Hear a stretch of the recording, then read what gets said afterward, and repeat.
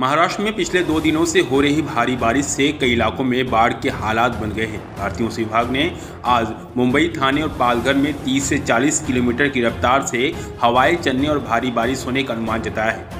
मौसम विभाग ने मुंबई थाने और नासिक के लिए अगले तीन चार घंटे बेहद अहम बताए। इनके अलावा अगले 24 घंटे में मराठवाड़ा, मध्य महाराष्ट्र, कोकण क्षेत्र मूसलाधार बरसात होने का अनुमान जताया गया है। हालाँकि बंगाल की खाड़ी से उठा चक्रवाती तूफ़ान गुलाब कमज़ोर पड़ गया है, लेकिन इसके असर से बारिश होने की संभावनाएँ बढ़ गई है।